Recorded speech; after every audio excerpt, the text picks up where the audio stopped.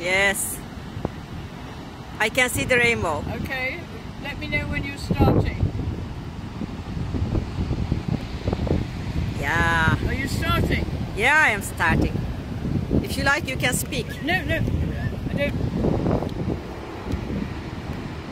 It's pretty amazing because there's a rainbow over the water. I've never seen that before. That's the third Turkish plane that's gone over